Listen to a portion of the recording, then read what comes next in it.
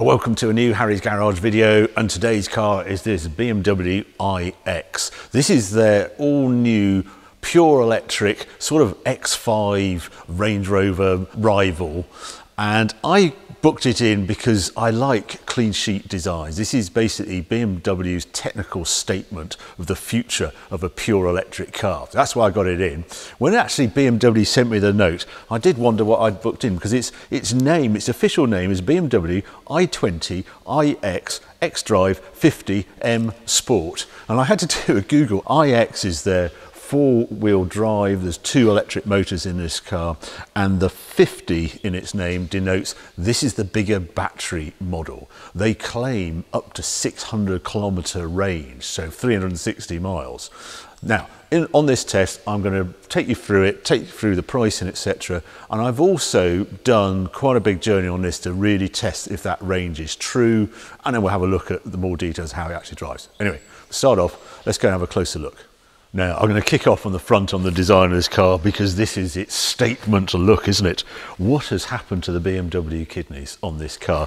Um, they are a very technical area in actual fact. There's all sorts of radar sensors going on under here. I can see little wires in here and it's sort of clear that it's very, very odd, but it hides all the tech and give, is meant to give it this cleaner look at the front and I've actually got used to it. I'm, ashamed to say whether it's just because it's black and it sort of blends in, but uh, it's a good look. And then it's very clean because it doesn't have to take in a lot of air. There's one air rushing around there. There is something down here, and I think these are actually moves. I think there's a sort of intelligent air intake going on there. What there isn't is an opening bonnet. I couldn't believe it. I looked all through the uh, handbook to see if I was going mad. What there is is where you put the screen wash in. Now, so that's that's the only thing that opens at the front, even though it does look like an opening bonnet to me. The other thing, these very sophisticated laser lights, sort of slim fit. The whole thing with this car was to get the um, drag coefficient down. It's 0.25 CD factor on that, which is super low. Yeah, come around to the side. This uh, car sits on these 22 inch wheels, which are 275 y 40. So this is the M Sport model and I think that's part of it. And I'm going to go into the price of this car because with this bigger battery, 105 kilowatt battery, this example you see here starts with no extras, £94,000, a lot of money. With the extras, it's got technical pack, interior cam cameras, um, parking, etc., comfort pack and sky lounge pack. It's got a panoramic roof, etc. The car you see here is 115,670. So this is a really quite expensive car, but the range does start with the smaller battery version. If you want to, um, it's an xDrive 40 M Sport, 69,905 but the range then is down to um, 257 miles. So you lose about a 100 mile range by going for the lower model. But yeah, quite a statement. And also the size of it, it is Range, Range Rover size. This is a five meter long car, but it just feels so incredibly modern inside. That sweep of the dash that's all lighting up because I've opened the door. Look at it. it goes, goes a bit nuts. It's a sort of light show. All that's going on. I can feel it's actually already trying to preheat the cabin as soon as I open the door. You can see here range 99% uh, battery and then the range 300, oh, 310 miles. It's just clicked down. If you come out, you'll just see the very fancy stereo on, on here would go around this and these frameless windows so no frame round the door. But the most exceptional item, I think, when I first this car first arrived, look at this carbon fibre. This car has a carbon fibre structure, so it's on a shell. We'll see it again when we open the boot big surprise that I hadn't realised they'd used carbon fibre in this way. You can see it as you open the door here, and I think that side impact, um, huge strength, huge stiffness to the body, and a way of trying to make it lighter than it might have been. Oh, I ought to just get in the back here because this car is vast. It's yes, it's a five metre length car, but it feels back here as though I'm in the long wheelbase Range Rover at 5.2, and that's all one of the beauties of an electric car the battery's underneath, there's no engine up the front. Um, you've got more interior space to play with. Again, very slim lights here. It sort of sits lower. You can see that CD factor. You can tell that they've made it as streamlined as they can. Weird, these sort of bumpers, and here you think there's going to be exhaust poking out, but obviously there isn't. And I also like how the, you see the lights there.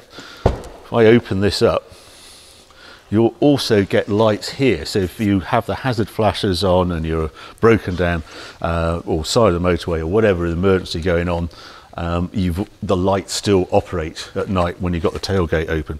Big boot, really good cubby hole down here for the cables, etc. We've got our own cables. I haven't actually opened the, the thing. And then if you can just look into the boot, you'll see a nice little trick, and that is this actually folds flat. So it's proper load. I do like the way those seats do that. That's a big load, very easy to operate. One annoying thing I find on this car, and I'm, I'm finding it with other cars as well, the electric socket. It's here, right at the back of the car, and I don't know. I don't know. So the charging we have at home, I've put it inside the garage, and I do like cars that you can plug in near the front. And I think that's a normal way of doing it. If you have a charger at home, you drive up to your charger. These side chargers, I don't think they work. I, I, if I go to um, InstaVolt um, locations, they tend to have the parking bays and the charger is at the end of the bay. So you have to back in to do this. I do wonder if they do it so it shows off the front of the car, the signature, the look. Oh, it's a BMW, it's one of those new BMWs charging. They actually do it for marketing purposes putting the charger at the back of the car rather than convenience for the owner. Right, what I'm going to do now, take it outside, take it around the cabin, take it for a drive. All very different in here, my goodness. I mean, it just feels concept car as soon as you sort of step into this thing. Sort of weird noises coming from it, weird shaped wheel. My goodness, God, and obviously electric and uh, just, uh, I mean, I think I'm in an arcade that feel of that. But in here, I, some of the things I really like on here is the low dash. I love the use of this. Instead of having an iPad sort of stuck on the dash, this is the whole display. I love that it's curved. I love the shape of it. I love the information, these two screens. It, it's yeah, visibility out is good because of it. It just minimises the dash it just looks so clean in here. This one has extra sparkle because it's got these sort of crystal effect, which is an option on it.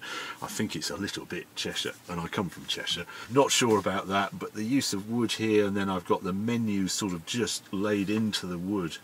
Very clever and then there's sort of no no sort of space here. Oh, sorry, no sort of centre console that sort of separates passenger and driver. There's this space I can put my feet across and put bags here.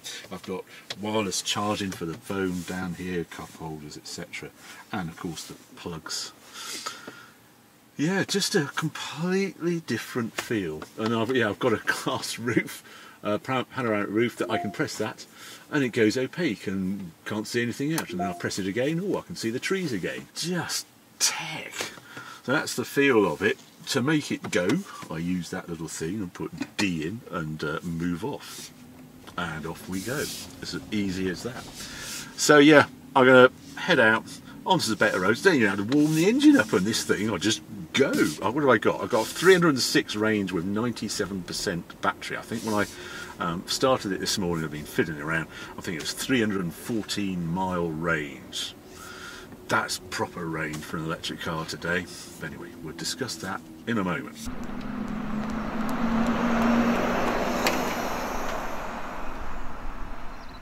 I love just looking at this, just about to pull out of here. I've got the front cameras come on because I, I was reversing and I, if I move the steering wheel the camera at the front moves so rather than just sort of the, the line just going to where you're going no in this one the camera moves around with the wheel. So I've just got it in normal mode at the moment. Off we go. Let's bring that down there off. There's 60 miles an hour just in an instant. Very easy to do and I, I measured the sounds I'm like, yeah super quiet and I was on the M25 and yesterday and on that noisy bit of concrete, it could barely register 72, 73. So this is the quietest car I've ever tested. And it makes such a difference. It's, it's odd um, cabin sound because you think, oh, I can hear some road noise and stuff. It's only when you get a meter out and you can see just how quiet it is. Or you've got people in the car and you're just talking, you suddenly realise you're just not raising your voice. That's how you tell a really quiet car. You, your ears always pick up any sound there might be, but there's a real hushness to this car.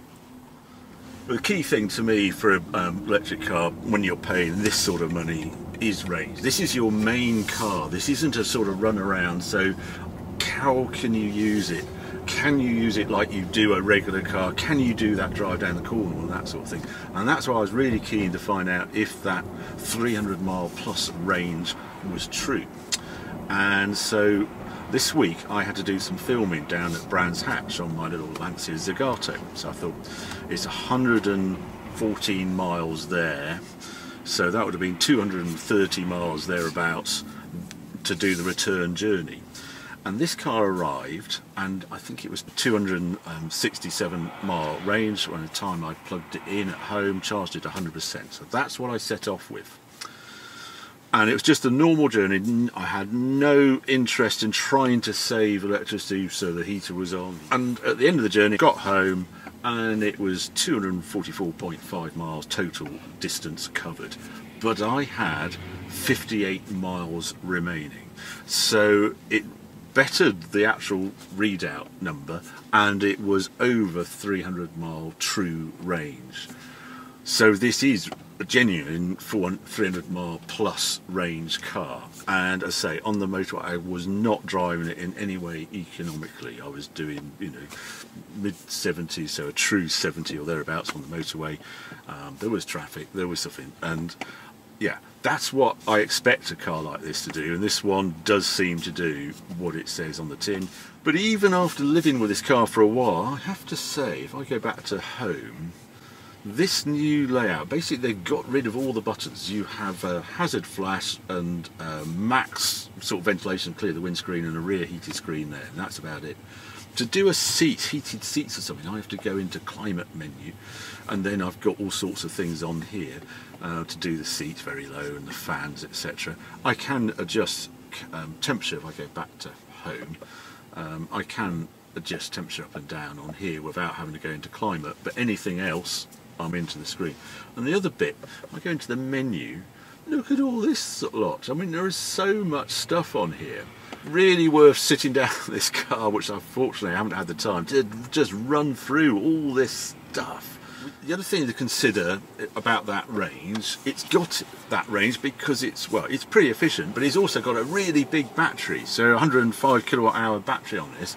And then you've got to think about recharging a great big battery. Now I'm lucky at home because I've got um, three-phase electricity at home so I can charge at the maximum AC rate of 11, 11 kilowatts and to charge this up from when I got home it was 8 hours 47 minutes but if you want to charge this battery up just using a domestic supply you know 13 amp you would have to charge it for 54 hours to go from 0 to 100% battery capacity. Over two days continuous charging.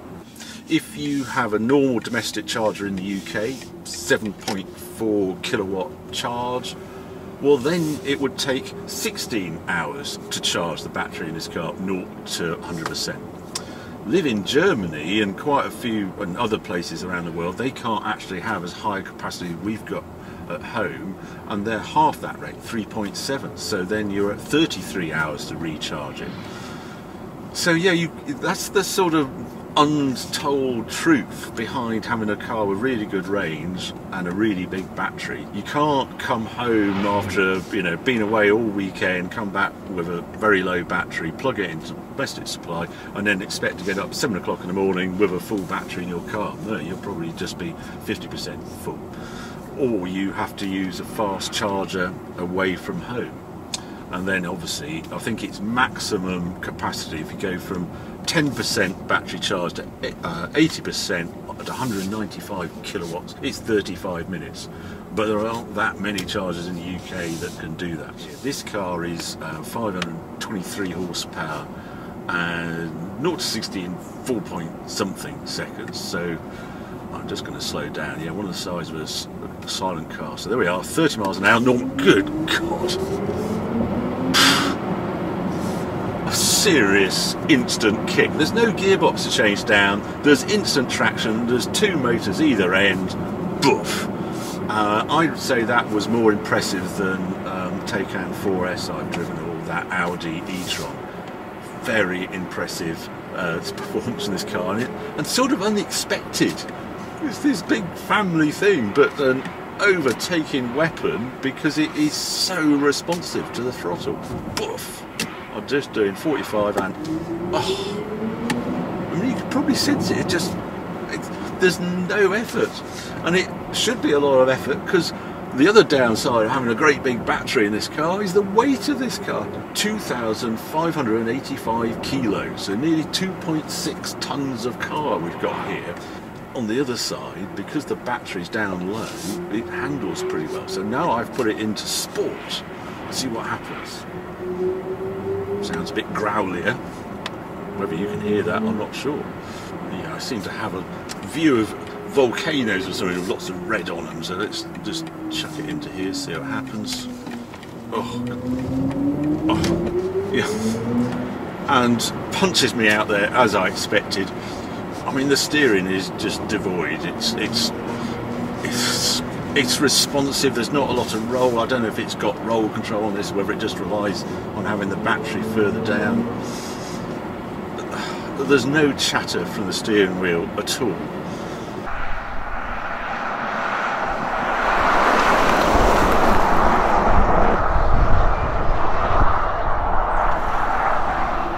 Let's go through some likes and dislikes of this car. Well, I suppose number one dislike, and whether I'm just looking at spec too hard or not, I don't know. But it just, I just think, what are we doing with this efficiency, this drive for efficiency, but we're ending up with a family car that weighs 2.5 tons or 2.6 tons as near as damn it. I think this car should weigh under two tons, not approaching three it's a personal thing because the actual dynamics are good and if you don't look at the spec sheet you wouldn't really know only perhaps from the brakes design it's it's a bit marmite isn't it? It looks very modern. It's quite hard to create a car with this volume to look super sly and stylish. But I can't say I loved it. But I didn't love the look of the X5 but I lived with it and I bloody loved the car as a car. And I think the same with this. I think you'd really get to like this car. But that price does seem chunky to me. 115,000 as you see it here. That's in Range Rover autobiography mode. That's not X5 mode. This is another step above.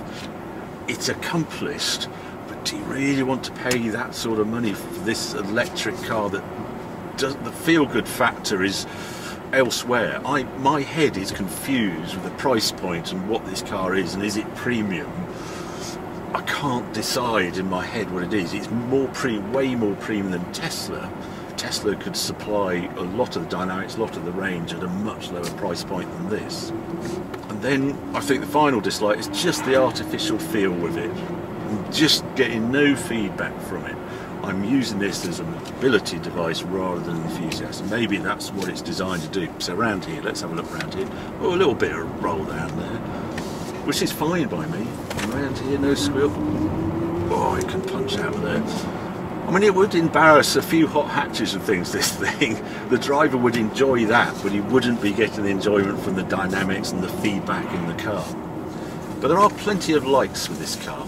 I like that BMWs really look at the tech. This isn't a converted regular car. This is a car that they've looked at very hard and how they make an electric usable car and it is superbly usable. It's really well thought out. Then the interior space and all the accessories, there's roof boxes, ski boxes, bike carriers. It can tow this car. It's the first electric car I've seen with a proper tow capacity, two and a half tons tow capacity. You can get a um, tow bar, you know, retractable tow bar for this car.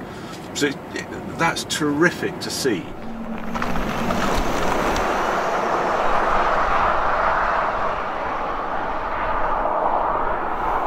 So yeah, in conclusion, mighty impressive car by BMW, this iX. I love how they've done a real deep dive into the tech and also the construction of the car. They're saying they can construct this car for around half the energy that would go into making a regular SUV with an internal combustion engine. Very clever, they've looked at both ends, not only the efficiency of the car, but also the efficiency of the build process and how they can reduce the CO2 footprint of the car during construction. But am I going to swap into this? It's got to fit your needs. You've still got to think, can I live with an electric car? This has the range. Once you're over 300 miles, that makes it a whole lot usable as a solo car. Quite often, purchase of electric cars, I saw a report the other day, in the UK, 90% have access to a regular car. So the range isn't quite so critical. And as a second car, they work brilliantly. But as a first car, it's a big lifestyle change. This car gets very, very close, but you are exposed to the outside charge network, and I had an experience. I just wanted to check out the new charge IoT uh, charge at Chobham, and I suddenly saw this car sort of undertake me just as we're approaching the sign. I was on the phone to someone, I thought well, that's a bit odd, and I then 20 metres later realised that he'd undertook me to get to the charge point first because there was only one left. I just don't want that in my life right now. So I'm going to continue with my plug-in hybrid uh, until the outside charge network gets more established.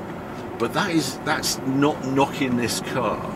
If the electric car suits you and suits your needs, I really feel as though I'm driving the future in this car. The pleasure is in the silence and the tech and the ease of motion and the quietness and this was glorious on the M25 in traffic. It was so good at coming to a stop when traffic around you I wasn't touching the pedals it radared to a stop and raid moved off radar moved off very gently so relaxing brilliant sound system in it. So your enjoyment of this car is not like the performance collector car. It's completely different sort of pleasures it, it, it, you know you enjoy from it. But it also enhances when I do take that crazy Countach for a drive or something. It is so different an experience to this, but I don't want to sit on the M25 with it. So there you go. That's my conclusion on iX. I think, yeah, it's a real change. I don't think the motor industry has seen the amount of change we're seeing now. It's great to experience these cars, great that the engineers are producing these sort of cars. So I hope you enjoyed this video. If you have, keep watching, keep subscribing, more videos coming on very soon. Thanks for watching.